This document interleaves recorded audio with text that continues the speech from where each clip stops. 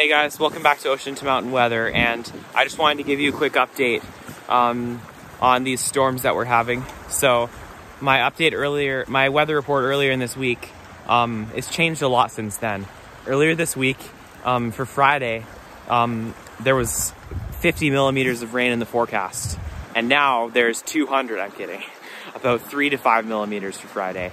Um, and anyways, for tonight, about three to five millimeters, low of only about seven or so. Probably won't dip below seven degrees. It's currently nine right now, or eight and a half. Um, and tomorrow, Friday, uh, during the day, about three to five millimeters, like I said, not 200. Um, and for Saturday, well, fr Friday night, uh, a little bit of rain too. Saturday showers tapering off in the morning. Um, in yeah, and Saturday morning, and then Saturday night, um, probably not much of anything.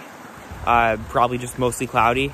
Uh, Sat and Sunday, I mean, uh, mostly cloudy with a few showers possibly starting late in the day, and about five to ten millimeters of rain at night.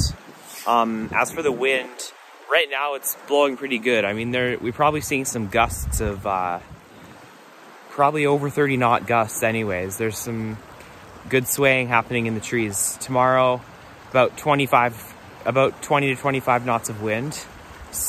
And this is the reason we're not getting a ton of rain like was forecasting before is because these are these systems are tracking farther north than uh, the last ones. So the North Island is going to be getting lots of rain and snow for high elevations. Uh, whereas we here are probably going to start seeing the bigger rain events coming back next week. So I'm going to do another report on Monday when I'm back from my skiing trip over the weekend. So make sure to subscribe so you don't miss it, and I'll see you next time.